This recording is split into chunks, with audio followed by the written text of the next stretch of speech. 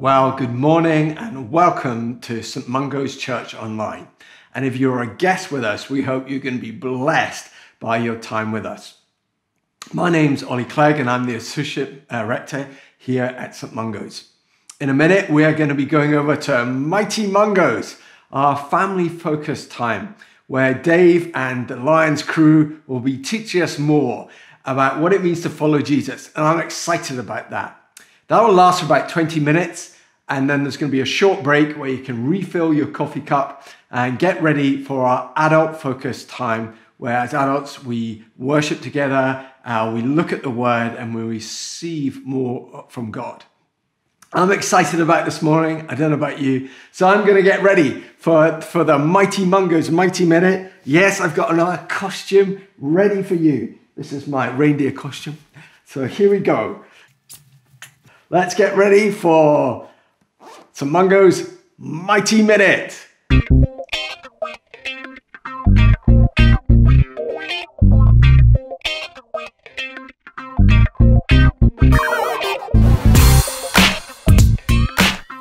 to Mighty Mungos. We're going to start as we always do with the Mighty Minute.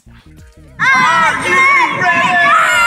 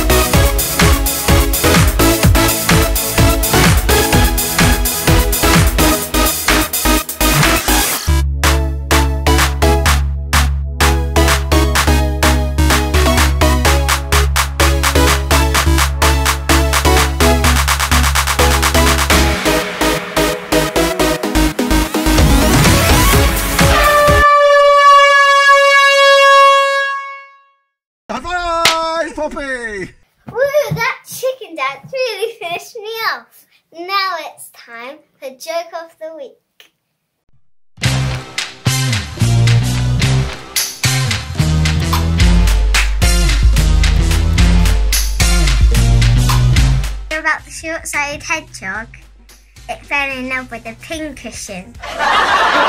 what cartoons do fruits watch? Tom and Jerry. Have you heard the story of the magic tractor? No. It turned into a field. Who made King Arthur's round table? I don't know. Who made King Arthur's round table? Circumference. Why did the Queen go to the dentist? I don't know. Why did the Queen go to the dentist? To get her teeth crowned. What imperial vehicle destroys celebrities? I don't know. A star destroyer. Why did the children eat their homework? I don't know. Because their teacher said it was a piece of cake.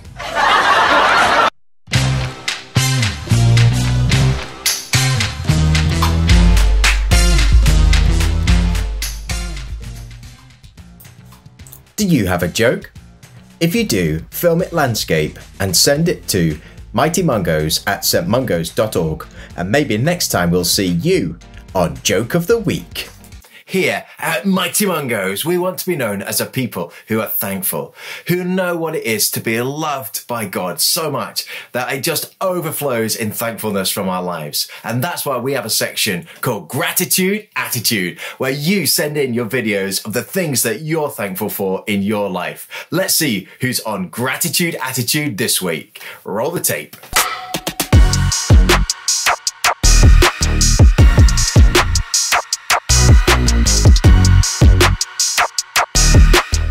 I'm thankful for spotting my pet ladybug.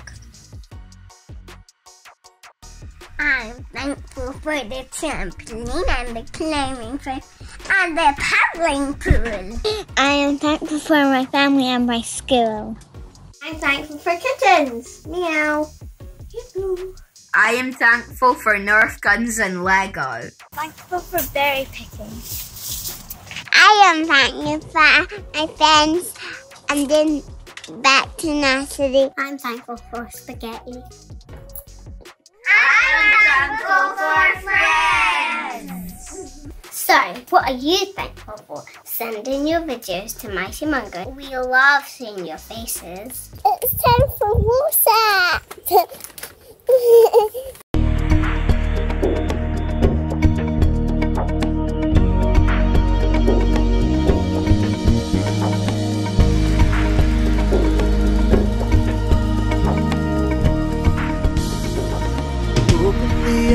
of my heart, Lord. Open the eyes of my heart. I wanna see you. I wanna see you. Open the eyes of my heart, Lord. Open the eyes of my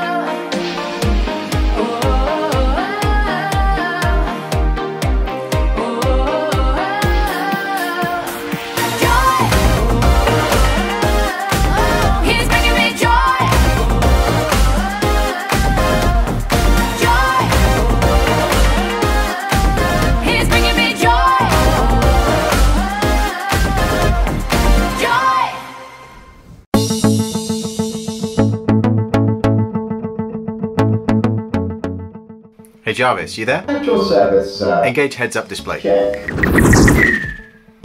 Who's our hero of the faith going to be today? Searching Heroes of Faith database. Here is John. Okay, get it loaded up. Today we're going to start our new series where we look at some of the heroes of faith from in the Bible. We're going to look at their lives and then see how can we apply some of the things that they learn in our own lives today. If you're an adult or a teenager and you're watching this morning, we're going to be basing this series on a book called Lifelines by Mike Pilavachi and Andy Croft. I really recommend that you go out and grab yourself a copy. It'll just allow you to dig a little bit deeper as you go through the weeks.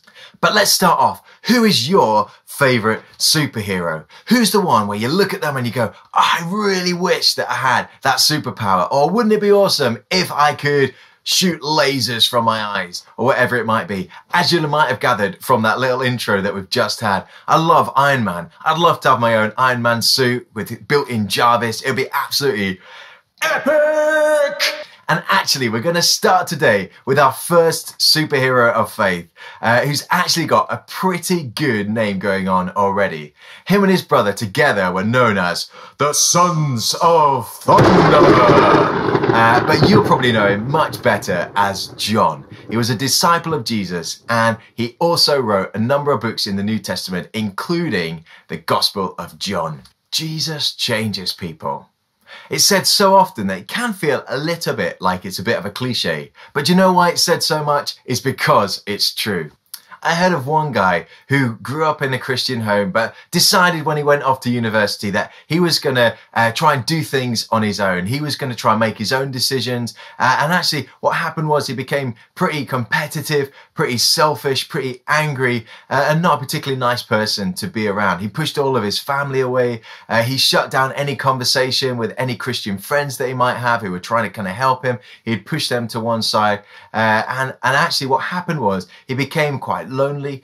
Uh, he became quite uh, distant from people, uh, and his life hadn't actually really turned out the way that he thought it might. Then I heard that what happened was one, t- one day he kind of saw in a few people that there was something different about them, that they had this kind of happiness, this kind of joy that, that he just knew he didn't have. And he knew that he, he wouldn't have that if he continued living his life as he was. And so he set about just finding a little bit more about who Jesus was and what does it mean to be loved by Jesus. Gradually, he found that significance wasn't found in relationships, in work, in achievements, but was actually found uh, in being loved to life by a God who sees all our flaws, all our failures, all of the things that, uh, the thoughts that go on in his head, uh, and yet chooses to still love him and chooses to still call him his beloved son. And you might be wondering, yeah, that's fine, Dave, but how do I know that story is true? Well, I know it's true because it's my story. That's me. I'm the one who's gradually learning what it means to be loved by God, what it means for God that, that created the whole universe, who sees all of my flaws, all of my failures, yet still chooses to love me and still chooses to call me his beloved son. It's quite an amazing transformation. It's quite an amazing thing that that does to the way that you see yourself and that you see the world around you. But let's just look at three examples uh, from John's life which can highlight what he was like. So the first thing uh, is found in Mark. Jesus explains in quite grisly detail that he's going to be flogged, he's going to be spat on, he's going to be mocked and beaten, and he's going to be murdered in the most horrendous way. And John's reaction to that is to say, Hey, Jesus, um, see, when you do die and you go to heaven, can I have that seat that's next to you? He doesn't even acknowledge what Jesus has got to go through. All he's thinking about is himself and what he is going to get from this. John was actually someone who was very selfish. In Luke, we read about how John was vengefully violent. He goes to a town to see whether Jesus can come uh, and do some teaching and do some ministry there. And the people of that town said, No, we don't want you to come. Thank you very much. John comes back and he says, I can't believe it, Jesus. This is outrageous. They won't let us go. They won't let us teach there. Uh, what I'm going to do is I'm going to pray to God and I'm going to ask him to send down fire from heaven and completely destroy that village. I can't believe that they won't let us go. Sounds a little excessive, right? The last thing is at the end of John's Gospel, uh, we read that Mary goes to the tomb and she sees that it's empty. So she runs off to find and tell the others. She comes across Peter and the other disciple, which is John, uh, and she tells them and they run to go and see what's been going on. And in John's description of this, he says that the other disciple, that's him, outran Peter. At the end of the book of John, uh, he writes that he doesn't have enough space to be able to write down all the amazing things that Jesus did. So he's just going to have to leave them out. But what is interesting is that he has found space to fit in there that he is a faster runner than Peter. It just shows that excessive competitiveness that John has got. So we can see that John is flawed, but he's actually also transformed. Right throughout his book, he often refers to himself as the beloved disciple or the disciple who Jesus loved. Now, after reading what I've just told you, you might think, well, that's just his arrogance. It's just his selfishness, making sure that everyone knows that he thinks, that Jesus thinks that he's the best one. But I think it's something different going on here. I think actually John has realized and understood what it means to be loved by Jesus. I mean, properly loved, like deep down, right in his guts, to know that he is beloved of Jesus. It's quite amazing. It's quite a statement. What would it be like for you and I to be able to really know deep down, right in the depths of our being, that we are God's beloved? I think it would change everything. Heavenly Father, I pray that you would come now and you would pour in your love into our hearts. That you would help us to understand what it means to be loved by you. Right down deep in our guts that we would know what it is to be loved by you. That we would know how deep, how wide, and how boundless is the love of God. And that we'd experience that love this week. Amen.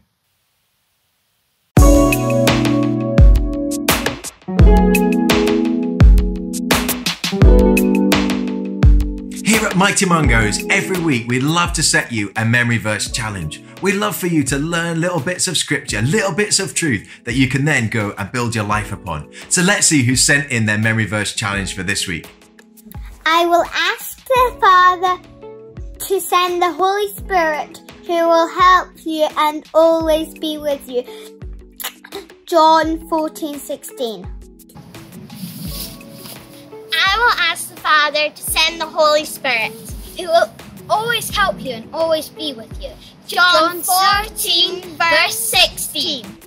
I will ask the Father to send the Holy Spirit who will help you and always be with you. I will ask the Father to send the Holy Spirit who will help you and always be with you. John 14, verse 16. And now it's time for you to find out this week's memory verse challenge, which is The Father has loved us so much. This shows how much He loved us. We are called children of God. So do send in your memory verse challenge videos to mightymungos at stmungos.org. We can't wait to see more of your faces. Our time together is almost over, but we just have time for family face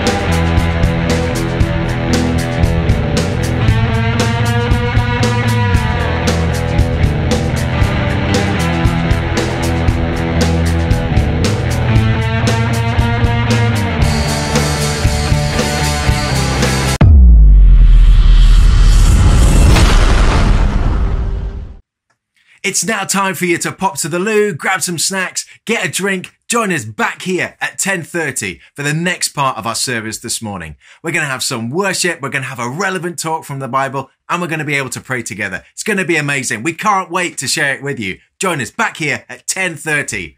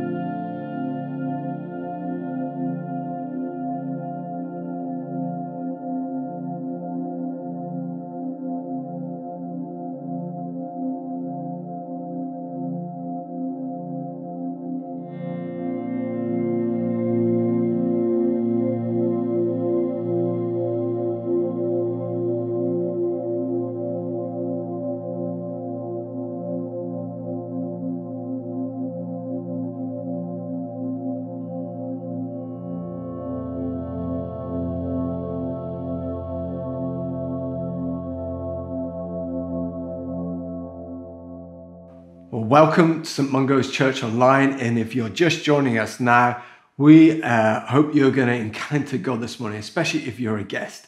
But it's great to be together. It was great to see some of the, the, the selfies that appeared on screen before. And again, thank you to all the team and the Lions family for our mighty Mungos. In a minute, we are going to be going over uh, to sing our first hymn. And uh, it's going to be Immortal Invisible that Francis is going to lead us in. And I'm looking forward to that. Live prayer is available throughout the service. And if you're on our church online uh, platform, then you just have to press the, the live prayer and then you can receive that any point through the service. If you're on YouTube, you'll have to use another mobile device to do that. But let's uh, prepare our hearts and continue our worship by singing our first hymn.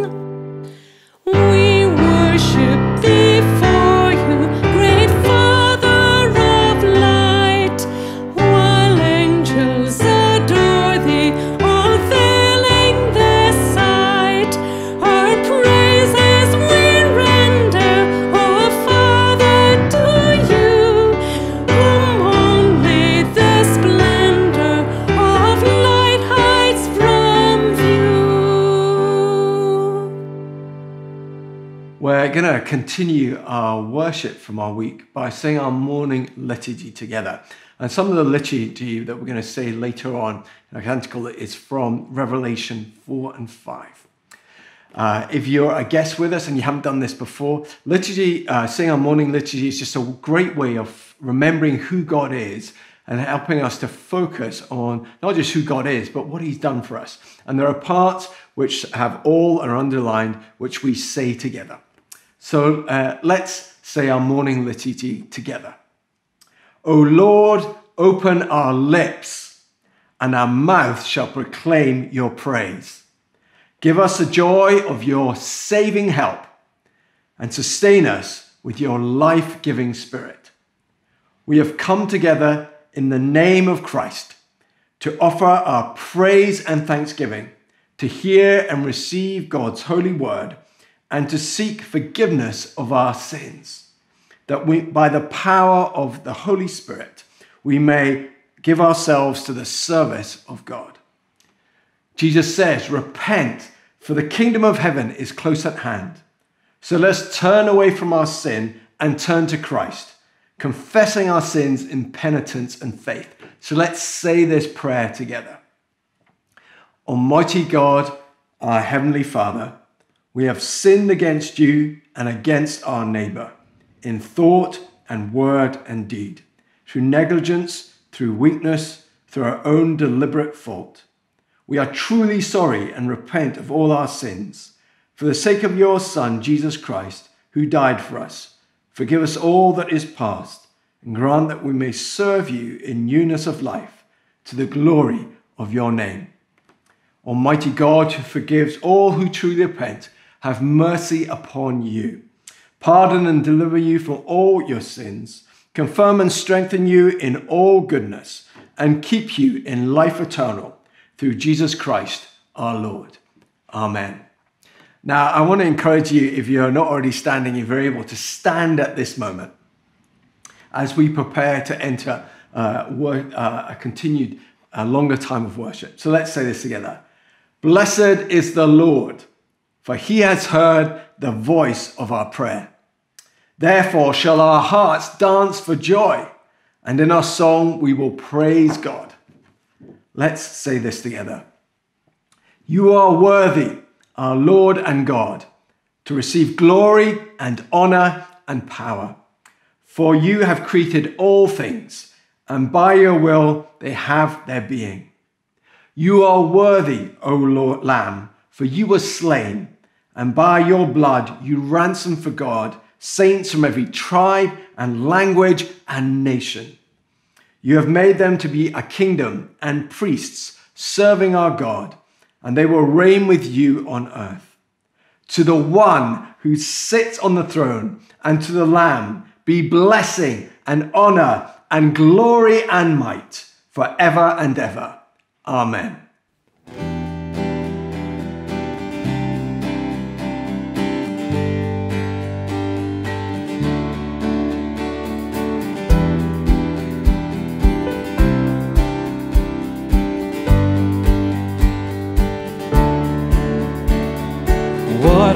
Turned into wine. Open the eyes of the blind. There's no one like you. There's none like you. Into the darkness you shine. Out of the ashes we rise. There's no one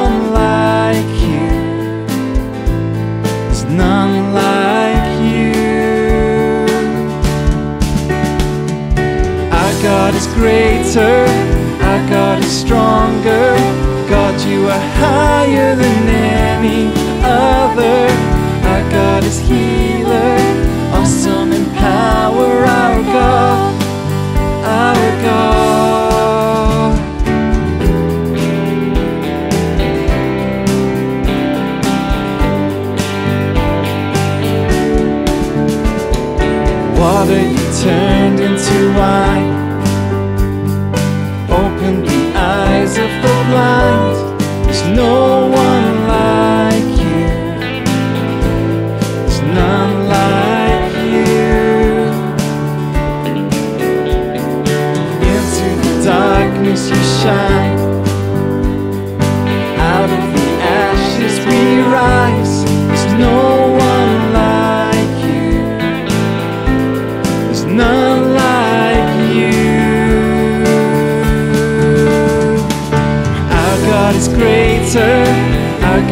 stronger.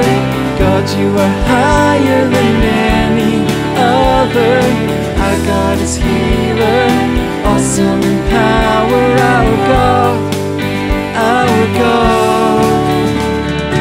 Our God is greater, our God is stronger. God, you are higher than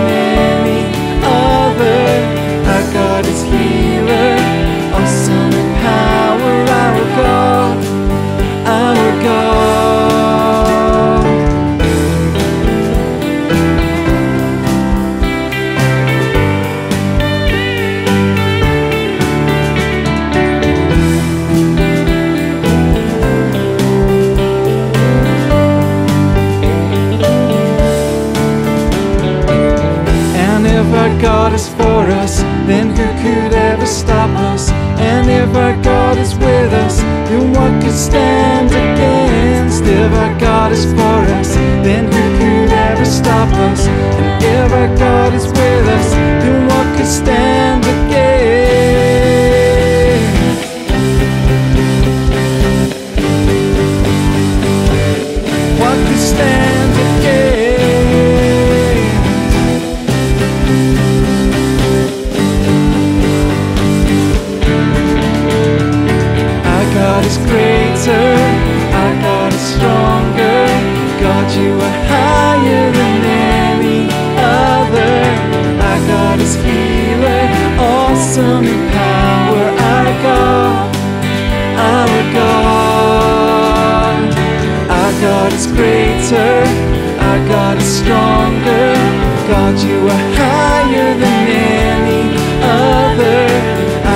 is here.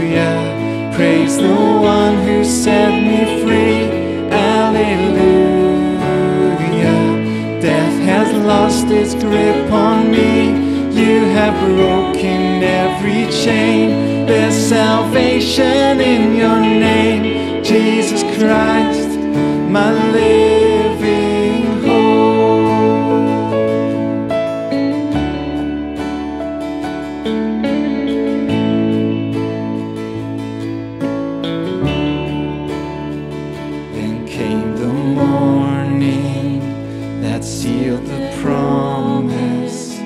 Your buried body began to breathe out of the silence.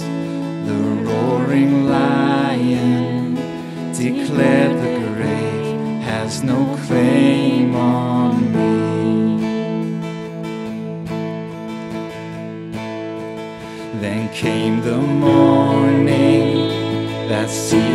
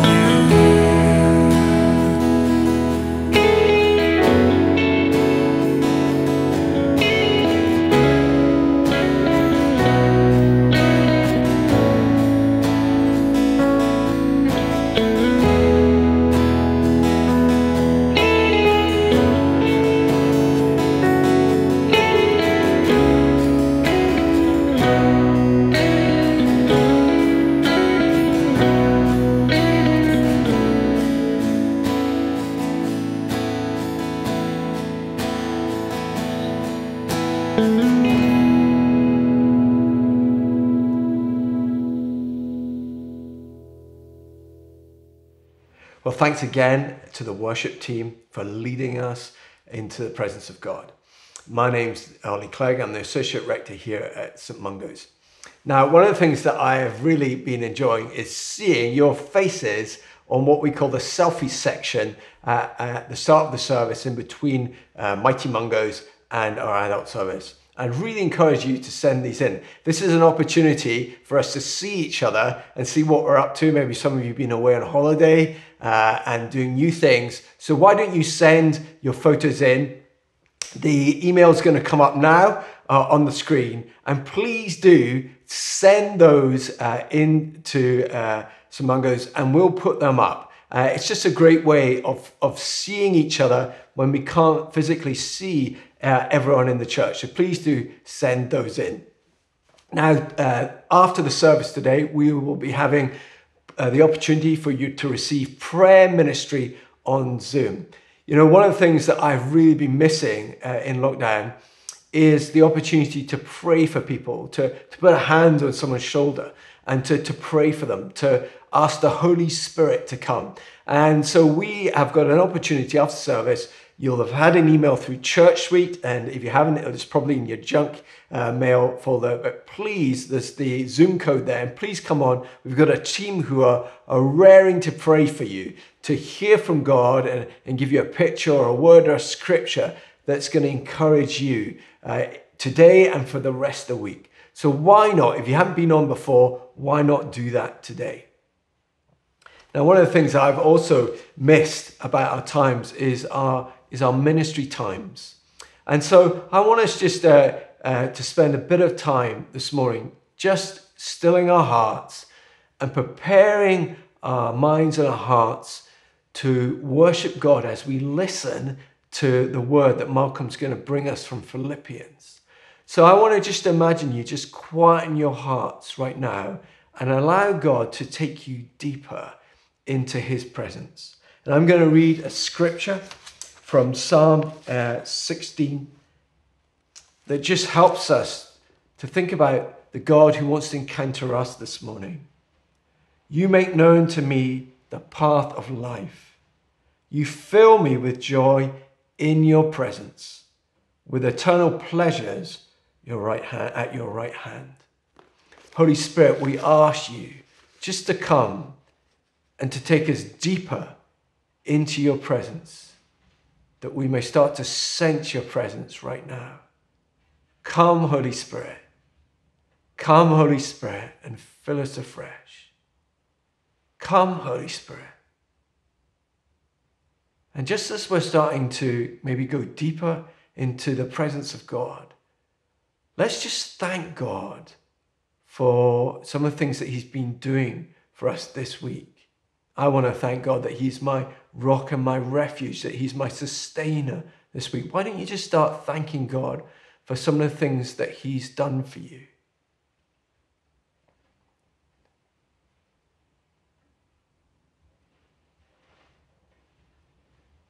And let's now just move into praising God for who He is. That He is our rock and our refuge, that He is our salvation, that He is Abba Father, that He is our Savior. In fact, He's the living Father, the, the Holy Father, the righteous Father. Just start praising God for who He is.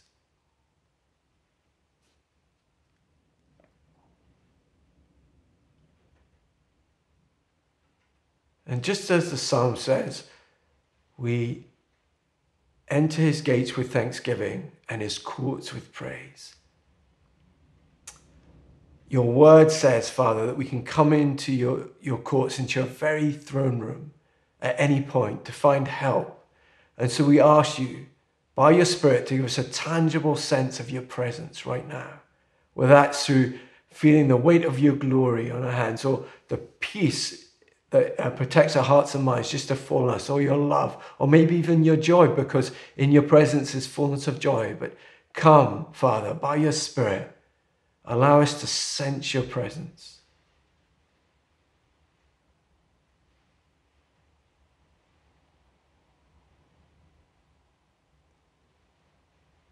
I just want to encourage you if there's anything that you're still feeling a little anxious about, why don't you give that to God? Cast all your cares on Him because He cares for you, so the peace of God might come and guard your heart and mind in Christ Jesus.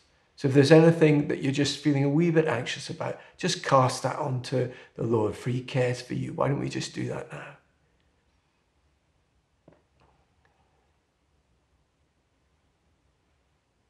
Father, thank you for your presence. Thank you that you care for us. And we just want to not just hear your word, but put it into practice this morning. We thank you for your word last week where we, we were called to rejoice, rejoice in you. And Lord, we want to rejoice in you by hearing your word and putting it into practice. So would you give us a heart and mind to, to understand and, and a spirit to sustain us? Holy Spirit, come and give us a hunger to put into practice to what you call us to do today, to live for Jesus and be who you've called us to be, the light of the world.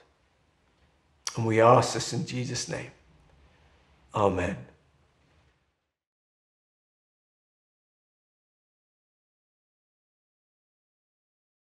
Now, I have a real problem when it comes to anything to do with finances. I don't understand spreadsheets. I don't understand balance sheets. I don't understand my financial advisor. I'm so bad at it that when Catherine, our church finance director and treasurer, comes and prepares material that she, she gives to the uh, vestry so we understand our financial situation, I don't understand her updates. So what she does just for me, she will put a little picture there, a, a smiley type face. There'll be the first one, uh, that's the one we want to see, where it's a smiley face. Sometimes we have a straight face and sometimes we have a sad face. That's the only way she can get me to understand finances. Now, the problem today is that the passage we're going to look at in the Bible is actually full, deliberately full of financial terms and financial ideas. So I'm going to do the very best that I can to handle this as I explain to you uh, what the Apostle Paul is teaching. We're really picking up from where we were last uh, last week. This is part two of this talk. So I'm going to pick up the, from the scriptures. I'm going to pick up at Philippians chapter 3 and read through uh, verses 3 to 11. For we are the circumcision who worship by the Spirit of God, glory in Christ Jesus, and put no confidence in the flesh. Though I myself have reason for confidence in the flesh also. If anyone else thinks he has reason for confidence in the flesh, I have more. Circumcised on the eighth day of the people of Israel. As to the uh, uh, people of Israel, of the tribe of Benjamin, a Hebrew of Hebrews, as to the law, a Pharisee. As to zeal, a persecutor of the church. As to righteousness under the law, blameless. But whatever gain I had, I counted as loss for the sake of Christ. Indeed, I count everything as loss because of the surpassing worth of knowing Christ Jesus, my Lord. For his sake I've suffered the loss of all things and count them as rubbish in order that I may gain Christ and be found in him, not having a righteousness of my own that comes from the law, but that which comes through faith in Christ. The righteousness from God that depends on faith, that I may know him and the power of his resurrection, and may share his sufferings, becoming like him in his death, that I, by any means possible, I may obtain the resurrection of the dead. This passage is deliberately full of words that you'll find on the front page of a Financial Times or in an account, so in an audit. That word account does mean evaluate, access, assess, audit. And there are two other main words that we find in there. It's that word confidence. And in this passage, it's particularly about confidence. What makes you confident that you can enter into the presence of God? And the other key word is righteousness, literally being right with God how can we be right with God? Basically, what are we putting our confidence in about being right with God? And that's the most important question you can ask yourself. When you stand before God, what right have you to enter eternal life? Why should God let you into his heaven? Because the answer you give will not only affect your eternal destiny, but also how you live now, how you make decisions the way you focus. So, what are you putting your confidence in?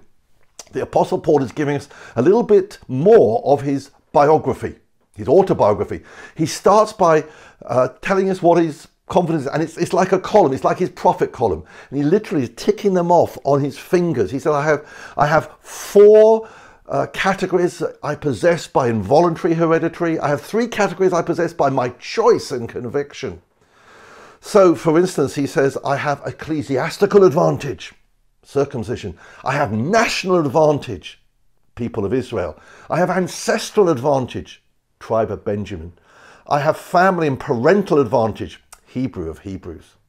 To which he adds then the things that he's chosen to do, his attitudes, his achievements. He excelled at everything he turned himself to. He said, I'm a Pharisee. Now, for most of us, Pharisees means hypocrite, but in those days it didn't.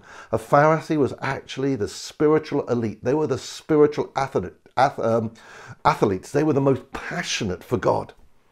And zeal. He said, I was incredibly zealous. Now, of course, his zeal was focused in the wrong way, but he was passionately and zealously wrong. And then ethically, he lived a righteous life, morally blameless, morally faultless, holy. What a life. So if you asked him uh, before, before he became a Christian, how did you put, how would you get right with God? He, he'd give you this profit column. But as Paul discovered, it was not the bad things that kept Paul away from God, but the good things. He had to lose his religion to find his salvation. Now, what a list of good things. He never compromised, he was zealous, he was passionate, he lived a wholehearted, faultless, holy life. But, but, we come to a but in the Bible. It's verse 7. But, whatever gain I had, I counted as loss for the sake of Christ.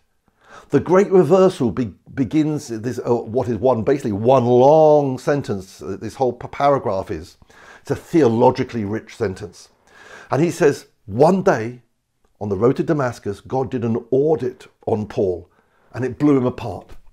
The book, the finance book, was carefully opened, audited by the heavenly accountant, and the result was staggering. I think at this point, the Apostle Paul is looking back on his conversion, the day, the hour, the minute when his whole personal spiritual accountancy system broke down. All that accumulated profit of years slumped to rock bottom. Nothing. Black Monday. The shares tumbled.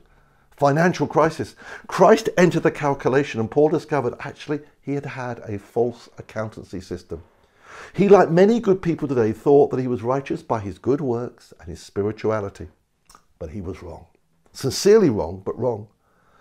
Now, some of the things I'm going to say might sound harsh because we're in a world full of sincere people who genuinely think that they're nice, that they do good things to help others, that they're spiritual, that they pray, they care, and they think that that will get them right with God. They sincerely believe in what they say and do, but they are sincerely wrong. Not because I say so, but because God in Christ has revealed it so. This is the fundamental teaching in the Bible, which makes actually Christianity absolutely a unique faith and what it means about becoming a Christian. Whatever gain I had, I counted as loss for the sake of Christ. It's all Christ focus. The long list of good things he saw as profit suddenly gets shifted in the audit for, to the loss column. It's into the red.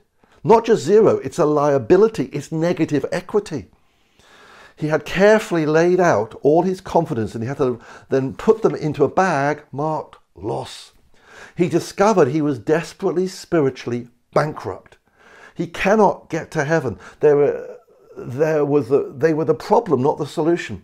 Paul has taken advantages all on his credit side, and then item by item, forgetting nothing, omitting nothing, excluding nothing, he dumps them into the column marked loss, bad debt.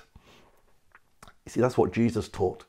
Mark 8, verse 36, Jesus says, What profit is it for you to gain the whole world but forfeit your soul? Now, instead of the long list, he just has one thing Christ. On the credit side is Christ alone and nothing else. Because on the cross, Christ covered the debt. He paid the price for our sin. He paid it on the nail. And he opened the way to heaven to receiving God's righteousness and his forgiveness. In verse 3, Paul is looking back at the point when he realized he wasn't right with God despite all the things that he thought helped. So, what is your story? When did you discover it is all about Christ and his gift of love?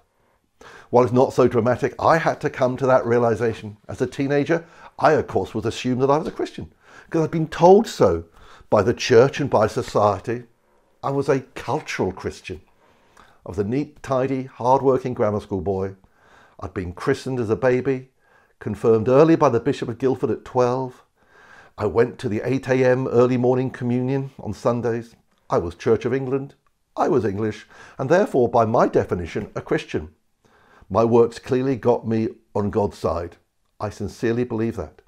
I was oblivious and ignorant that this wasn't enough until I met real Christians.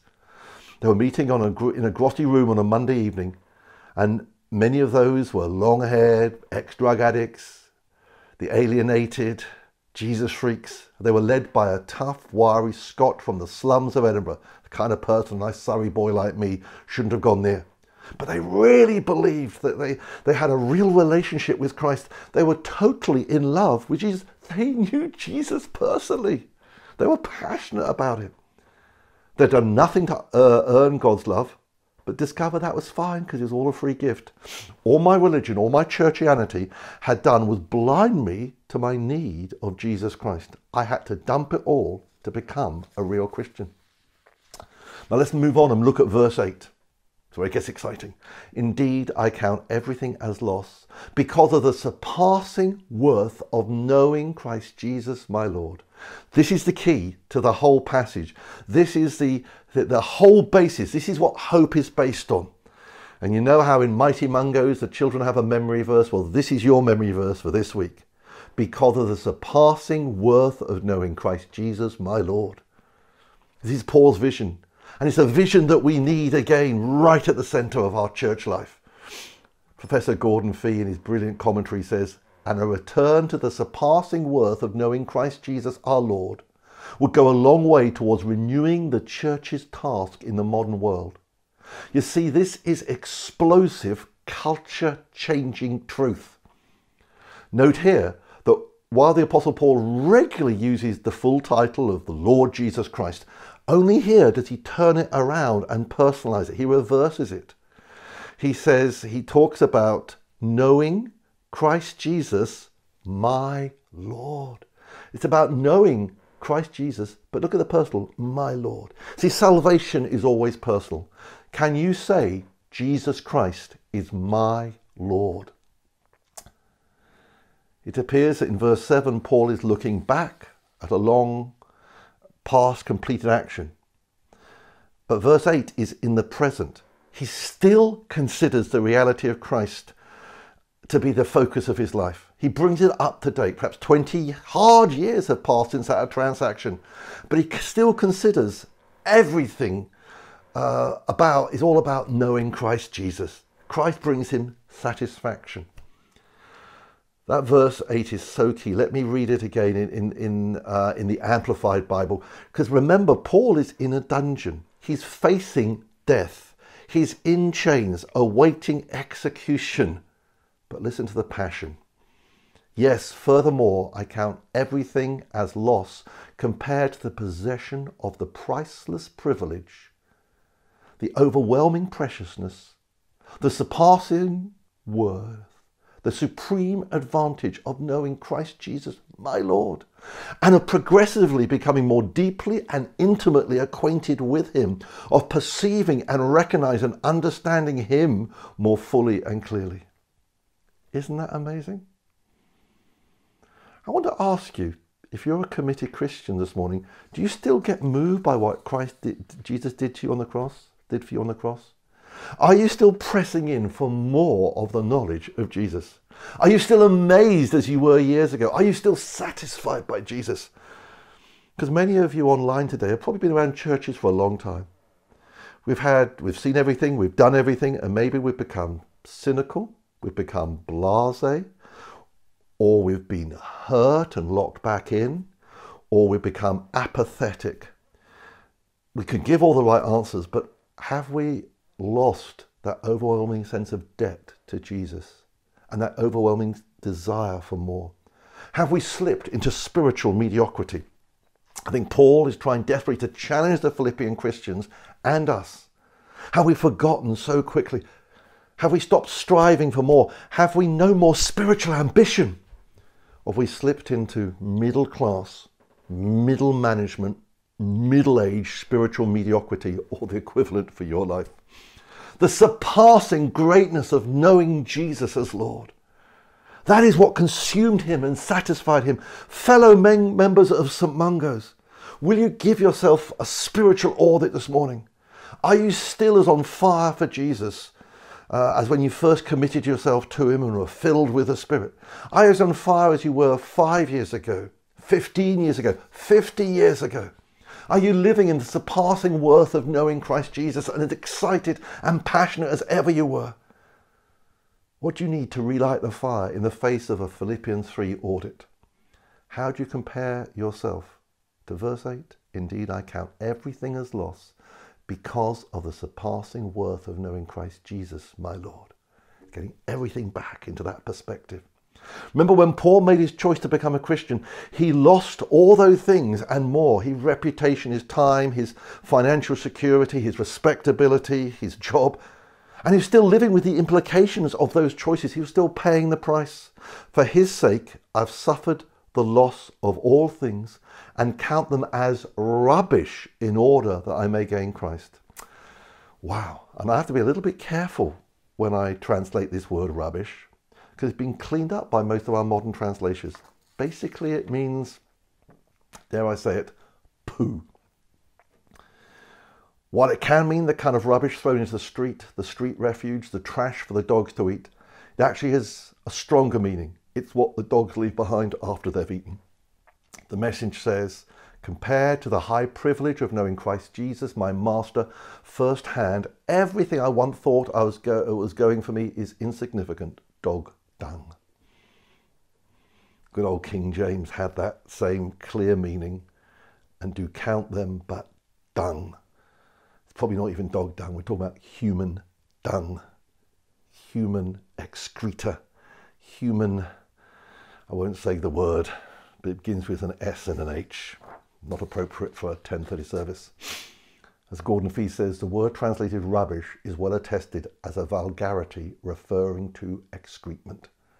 Yes, Paul is saying that all his good deeds, all his spiritual heritage, all his good works, all those things he had spiritual confidence in, he says it's just as this, as if I am a child. He said it's just as if he was a child who just pooed on the carpet and proudly said, Daddy, look what I've done. We've got to understand the intensity of how Paul saw this and the, uh, uh, and the, the, the damage and the danger of the false basis can be. Only when you feel ashamed, even at the best you've done, then you have to throw all away, and all you have left is Christ and His resources that are yours, in order that I may gain Christ. There's that accountancy word gain Christ. Everything is now focused on gaining Christ. Gain, that's uh, that financial term. It's about Christ, nothing added, nothing taken away. The message translates it I've dumped it all in the trash so I may embrace Christ and be embraced by Him. Wow, what a lovely picture of what a Christian is someone who's been embraced by Christ and uh, embrace Him. That's intimacy. Now, the next verse brings us now into one of the really big concepts uh, this idea of righteousness, which it, really the whole book of Romans is about. In fact, some people have called this verse a little meteorite from Romans. For his sake, I've suffered the loss of all things and count them as rubbish in order that I may gain Christ and be found in him, not having a righteousness of my own that comes from the law, but that which comes through faith in Christ, the righteousness from God that depends on faith. Notice it's all about being in Him, in Christ, united with Him, intimate with Him, embraced by Him. Now, righteousness is not a very common word today. You won't read it in newspapers or see it on social media. But in the Christian context, it has a particular meaning. Let me quote another uh, commentator, Alec Motyer. Righteousness means being in the right with God. Paul believed that in Christ, by faith, it is possible to stand under divine scrutiny and secure the verdict Paul is in the right. Paul is all that I require of him to be. Paul is righteous. But notice the righteousness that is from God. It's out from God. It is God's righteousness that he gives to us. And it comes by faith in Christ. And that faith there means putting our trust in Christ in a personal way. It's so simple. Some of you heard me before use that very simple illustration to compare these two different ways of getting right with God as do and done. Do, done. Paul discovered there was nothing he could do to be right with God because Christ had done it all. Now his righteousness, unearned and undeserved, was given as a free gift. Literally imputed, or to use a financial analogy, God put righteousness into his account. God puts righteousness, his righteousness, into your account. He's credited it into your life eternal account. And it's yours by just saying yes to his gift of love, putting your trust and saving uh, faith in Christ. Now, you might think that one of the dangers of this is that you could shrug your shoulder and say, well, Jesus has done it all, I can relax and do nothing. Does this truth cut the nerve of action does this gift of righteousness mean lazy Christians? No, because if it's understood, it will stir up a deep passion of gratitude. The Apostle Paul might have been a, been a Christian for 20, 30 years, but he's still got spiritual appetite. This truth stirs him up. He's still got passion. And he wants us to stay passionate no matter how long we've been around, no matter how hard it's become. And some of you are right in hardship at the moment. I know, pastorally. One translation says, My passion is to be consumed with him. Is that your passion this morning? And if not, what you're going to do about it? That leads us to our last couple of verses. That I may know him and the power of his resurrection, and may share his suffering, becoming like him in his death, that by any means possible I may obtain the resurrection from the dead he was still motivated and excited by these things. He may tell us, uh, he tells us here how to revive our passion, how to keep going. If you want to ignite your spiritual passion, then you target these areas. Maybe you found the last three months of the pandemic very hard to stay passionate as a Christian. There are passion killers out there. So, what must we focus on? So, how do to reignite your spiritual passion in a time of pandemic? Number one, know Christ know him. Now, the first place where you can know Christ is through the scriptures. Know the scriptures, know Christ. It is as simple as that. Do you know there are some surveys that sadly suggesting during COVID 19, some Christians are actually disengaging from reading the Bible and engaging with the Bible regularly. We must re engage, but in a way that helps us know Christ personally. I read this amazing quote that stirred me up to, to, to open the Bible. Chris Webb says the scriptures are the place where the boundary between heaven and earth has been worn through. When we open the Bible, it does not say to us, Listen, God is there. Instead, the voice of the Spirit whispers through each line, Look, I am here. Doesn't that, doesn't that make you want to get back into the scriptures? Will you re engage? But of course, it's more than just this head knowledge. This word know, as we know, is, is intellectual knowledge is so important. But then as we engage with scripture, it means relationship knowledge. It's a deep, profound, intimate. The word used right through this passage means intimacy of knowing. It's the intimacy of a mother with a baby, a loving husband and wife. It's the closest possible personal relationship to embrace. And it is this intimacy, this call to deeper intimacy with Christ, that is our first way of focus, of reigniting our passion. If you want to stay passionate Christian over years, it can only be done by desiring intimacy. Loss of spiritual appetite is almost always due to separation from closeness to Christ, and nearly always through our own choice. How has your intimacy with Jesus been this week? Number two, the power of the resurrection. Passion needs power. Paul was power hungry, literally always desperate to know more of God's power. And here Paul is speaking of the inherit, in, inheritant power available to us now. See, the resurrection of Jesus not only affects us in the future, but it empowers us now. Christ's resurrection released power that can enable our lives now. And it comes through the work of the Spirit. And, and when Paul talks about power, it's something he expects us to experience, not just intellectually, but experientially. Uh, the professor, Professor Gordon Fee says, We know from what Paul says elsewhere that his experience of the Spirit is the way the power of the resurrection is available for him and them. There is power of the resurrection to ignite your Christian life today.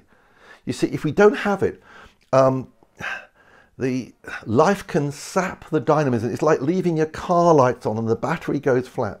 But Paul hungered for more. Listen to this how he prayed for other people in Ephesians 1 17 and 19. I keep asking that God of our Lord Jesus Christ, the glorious Father, may give you the spirit of wisdom and revelation so you may know him better and his incomparable great power for us who believe. That power is the same as the mighty strength which he exerted when he raised Christ from the dead. Will you pray for that resurrection power in your life this morning? After the last song, don't rush away. Just pause, there'll be music playing on your screen, and just either on your own or with someone, just pray that the Holy Spirit will empower you with resurrection power for you to be passionate for Jesus this week. Have a ministry time for yourself and those around you. Receive more power. Yes, Lord, release it. But then he adds suffering. And it is incredible. Far from being triumphalistic, um, Paul, like all of us, are aware that power and pain go hand in hand. In fact, he seems to glory in the reality of suffering. Now, this suffering here will include the suffering for the sake of Christ. The majority of Christians around the world today are probably facing persecution. It's also the suffering that we experience as Christ did the reality of suffering because we live in a fallen world, an unfair, death filled, pain filled world. And we experience the suffering that he experienced from that. But there's also something here of, of some amazing way where we enter, enter into Christ's suffering as Christians. He says, share in suffering. And that word share is the koinonia word. Remember, we learned it right at the very beginning, chapter 1, for partnering, for fellowship. It means that we somehow partner with Christ suffering. I don't understand it fully, but somehow we come into that. Power and suffering go hand in glove for the Christian. Fee says it is through an empowering presence whereby suffering was transferred into an intimate fellowship with Christ Himself. Our suffering somehow will actually get us to know Christ better. Over my life, I think I have drawn closer to Christ more in the pain than I have in the easy times. Paul wasn't going to allow his suffering to destroy his passion for Christ. In fact, he discovered it was a way to go deeper. And many of us are discovering that right now. Will you let some of the suffering you are going through help you identify with Christ and grow to know him better? Then he adds, become like him in his death. Again, there is some unity in our lives of Christ's death and our but it's also receiving the benefits of that death. It says in Romans 6 verse 11, in the same way, count yourself dead to sin, but alive to God in Christ Jesus. It's the cruciform life, a cross-centered life, identifying, conforming and living for the cross, taking your cross up daily remembering Christ's death on the cross, uniting with it. Yes, even in a COVID crisis, you can stay passionate because of Christ's cross. And then number five, resurrection of the dead. Now, you could read Paul's final phrase and say, well, it's a bit odd. And so, somehow, to attain the resurrection from the dead. But is Paul suddenly worried and lacking assurance in resurrection? Of course not. It would make nonsense of everything else that he, he that, that he says in Philippians. No, what it's saying is he accepts he doesn't know how and when it will happen, when the resurrection life will become his life fully and completely, the, the not yet of the kingdom. Because it could be very soon by the execution. It could be he could be released and years later he could enter into his resurrection life when he died. Or it could be because of the physical return of Christ. For him, the future resurrection itself is not in doubt. He just refutes the notion. What, he, what he's uncertain about is the when and the how. And as far as he's concerned, he said, God, that's your problem. That's your problem, Lord. That's your problem. He's still targeting the resurrection. Not just the power that empowers him now, but knowing the future hope is what keeps us passionate. The future certainty of a resurrection life motivates him. You see, the future hope will bring colour back into a life that has been dulled. You have a future hope that you should live in now. I hope these five things will keep you passionate. His passion didn't waver.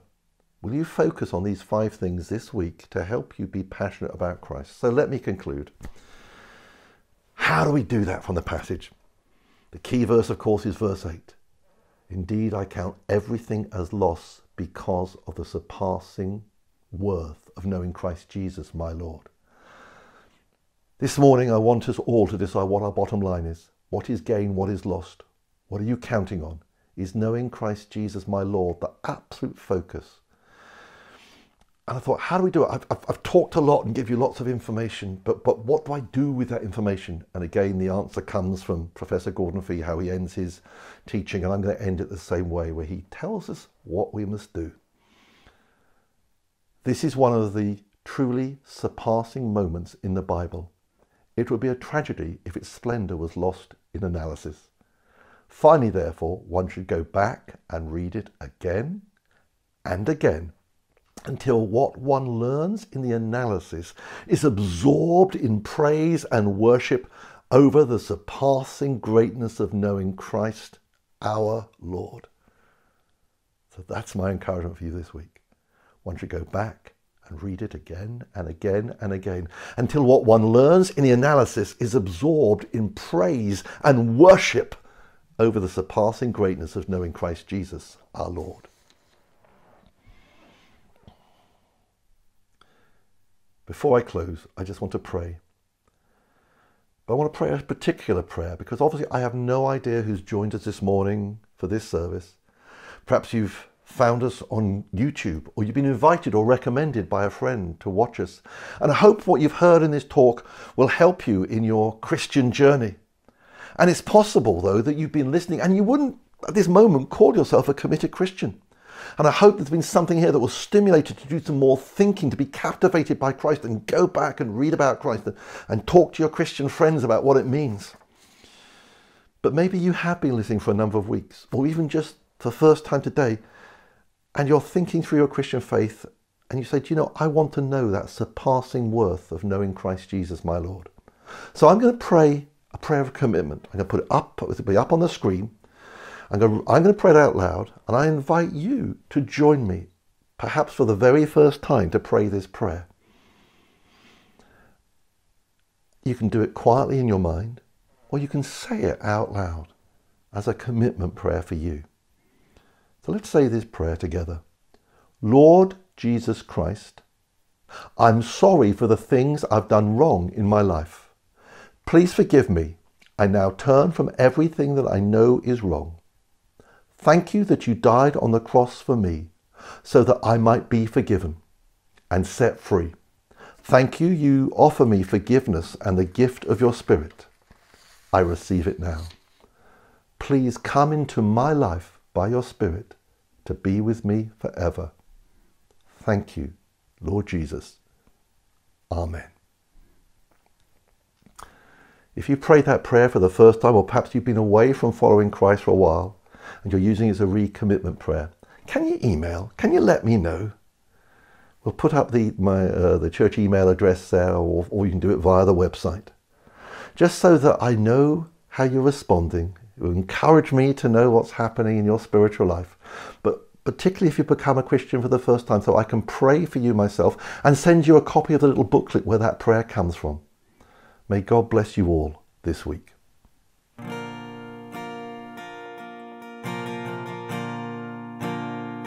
I love you, Lord. Oh, your mercy never fails me all my days. I've been held in your hands. From the moment that I wake up Until I lay my head I will sing of the goodness of God. All my life you have